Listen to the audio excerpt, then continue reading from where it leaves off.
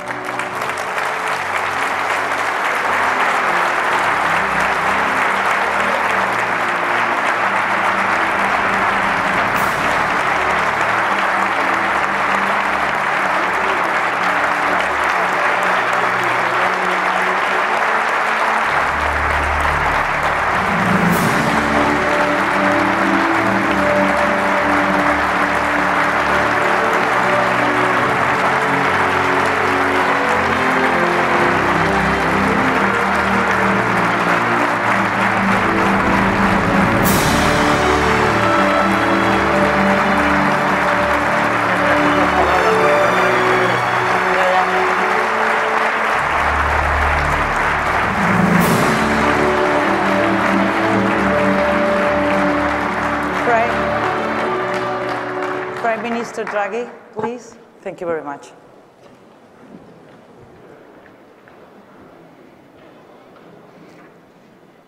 Well, I should say I'm quite moved by all this. I frankly didn't expect uh, such uh, affection. Um, the words uh, all of you said before, I find frankly excessive. Um, I never had the sense that I was actually achieving so much, but thank you anyway. Um, dear President Sanchez, Ms. Secretary of State Artigas, President Faus, President Bonnet, cara Nadia, uh, Maria Gaia, uh, Jose Manuel, caro Jose Manuel, well, thank you again. What I just said applies entirely to what you said. Um, just I'm blushing, so you don't see it, but uh, it shows. Well, Professor Maass, thank you for your kind invitation today. I'm very grateful to receive the first ever prize for the European construction of the Cercle d'Economia. As uh, President Faus reminded us, this event has its roots in the intuition of some young economists, professors, and businessmen from Barcelona who back in 1958 decided to found this circle.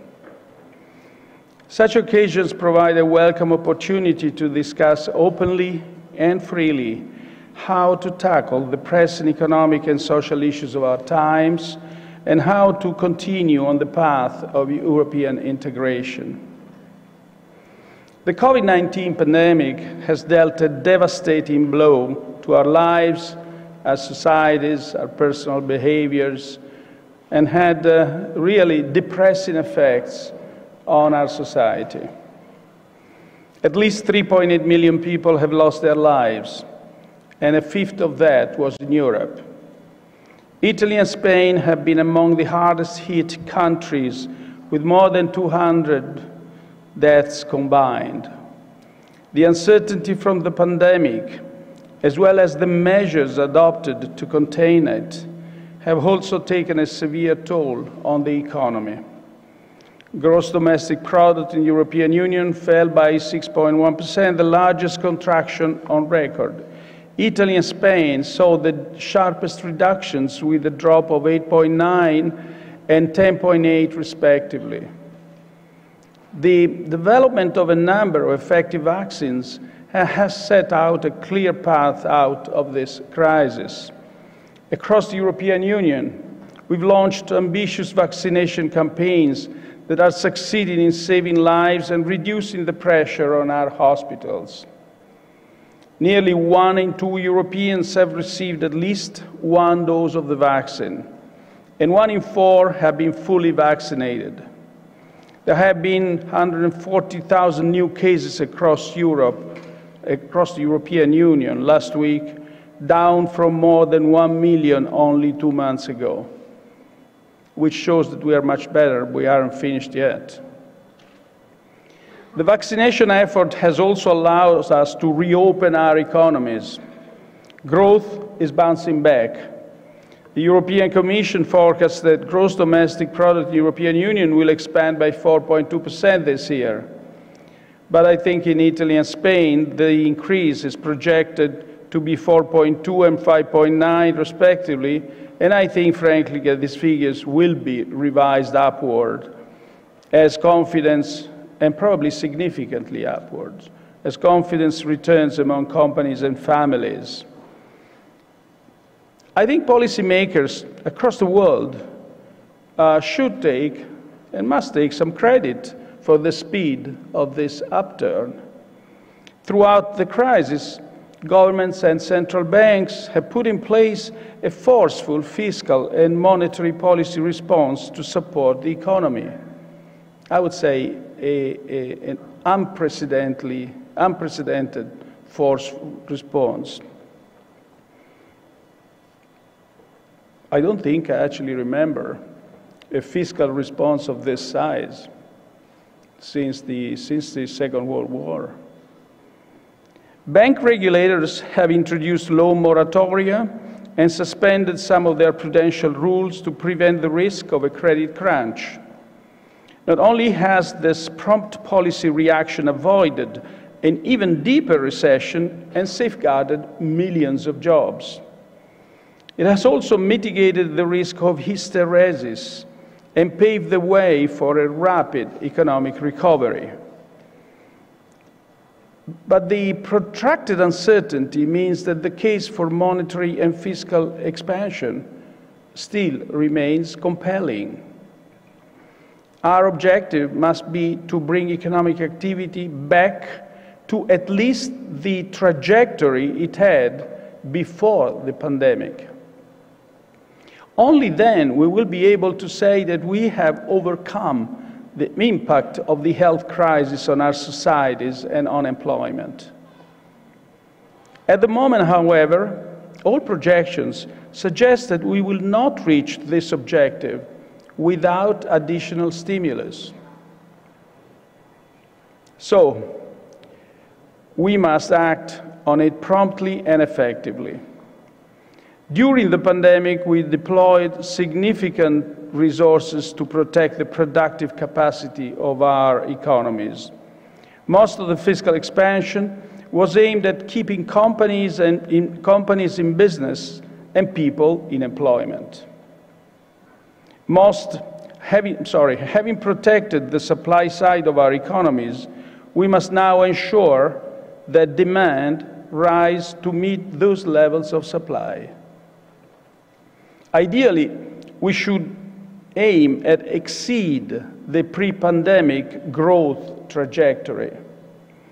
With higher levels of activity than before, we can compensate for the rise in debt that took place during the health crisis. We also need faster employment growth to create the new jobs that we need.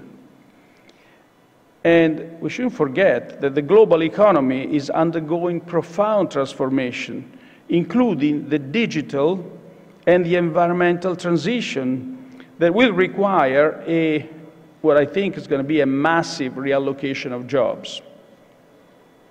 Maintaining easy demand conditions is therefore essential to ensure that we support workers as they face an increasing risk of dislocation. The overall benign outlook hides a number of important risks. The pandemic appears increasingly under control, but as I said before, is far from over. The vaccination effort has been largely limited to the rich world.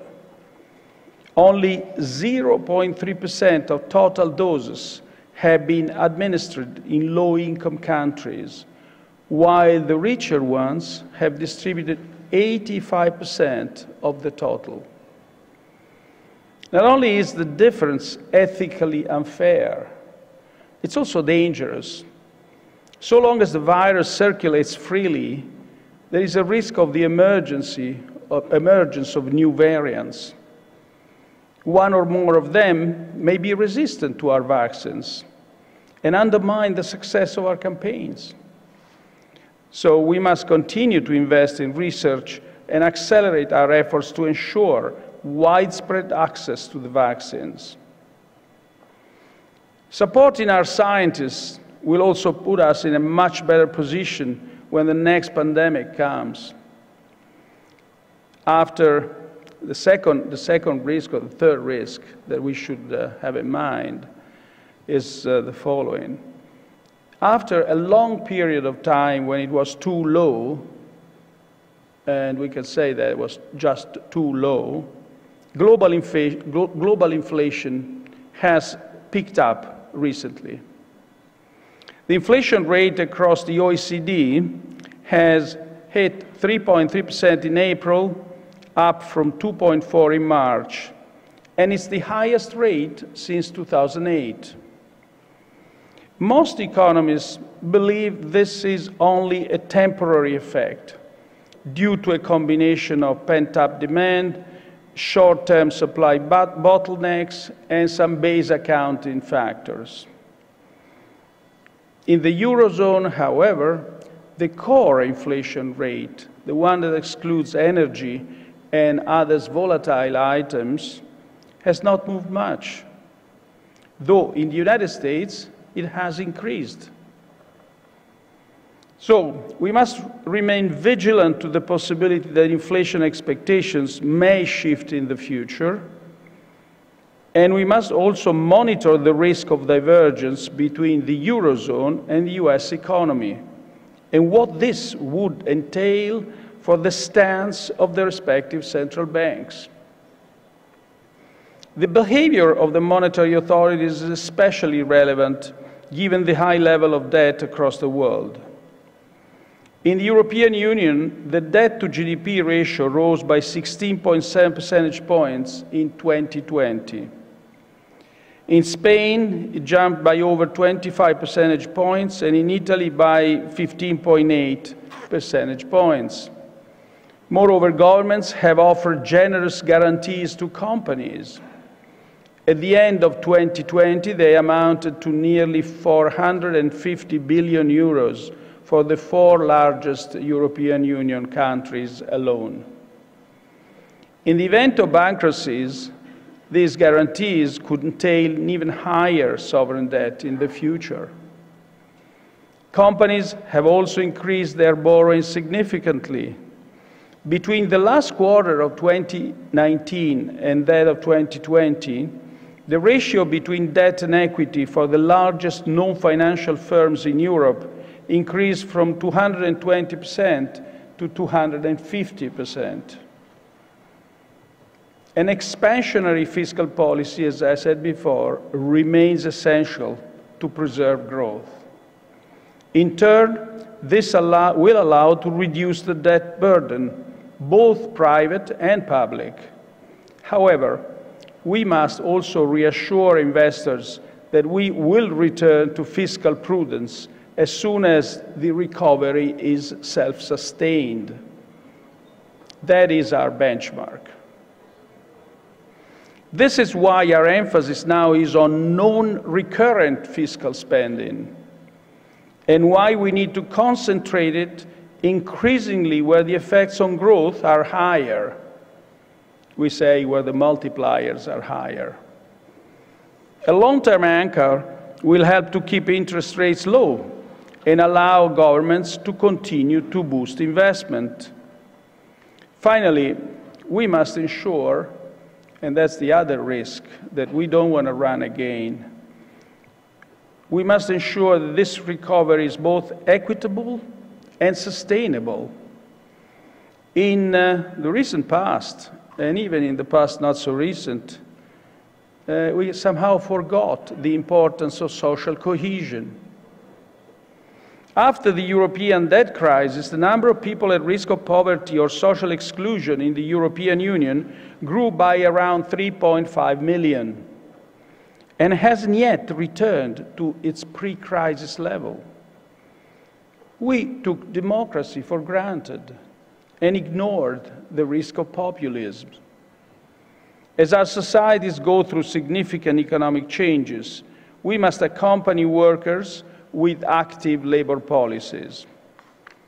This means opening up new opportunities for the women, for women and the young, and retraining and reskilling all those who lost their jobs.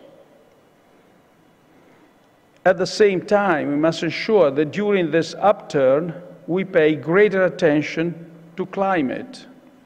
We can't leave this health crisis only to sleepwalk into an environmental crisis. Now, we all refer, I heard it many, being said many, many times, uh, to Jean Monnet, who wrote, Europe will be made through crisis, and it will be the sum of the solutions brought to these crises. I mean, if I think, if you think, well, it's a kind of strange sentence, and I'm not sure I fully understand it even, but, but then when I, when I doubt it, and uh, then I look at ourselves after all we've gone through, and we're still together, then it must be true a, a, successful, a successful recovery from the pandemic requires coordination, especially within the Eurozone. We must continue to strengthen our institutions and foster mutual trust. And stand united as Europeans to fight the defining challenges of our times climate change and inequalities. For decades, the rest of the world has looked at Europe for its unique combination of fairness and prosperity. This is and should remain our pride. Thank you.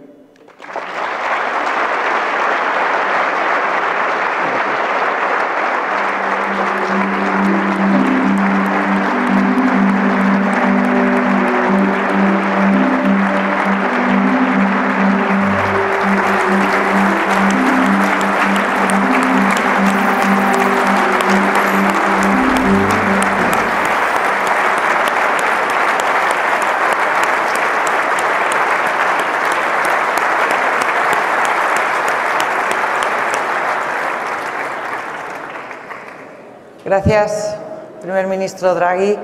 Eh, el primer ministro Draghi, el presidente Sánchez y el presidente Faust van a salir a hacerse una fotografía institucional y en unos instantes regresarán, así que si por favor son tan amables de, sentarse con nosotros porque van a tener tiempo de saludarles y de estar con ellos en unos instantes. Muchas gracias.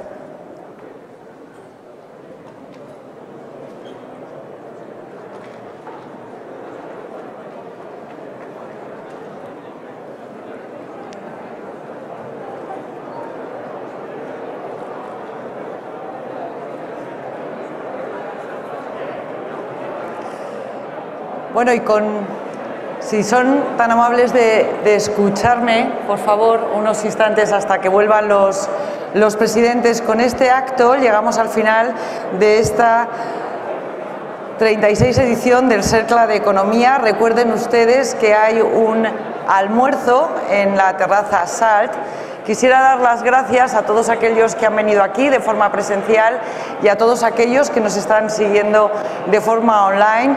Ha sido tres días muy intensos con un montón de conversaciones abiertas y sobre todo titulares que no vamos a olvidar. Queremos dar las gracias también a todos los patrocinadores del CERCLA y de esta edición y que les han acompañado durante todo el año de pandemia. Gracias por haber estado ahí a todos, mucha suerte y hasta el año que viene. Buenas tardes.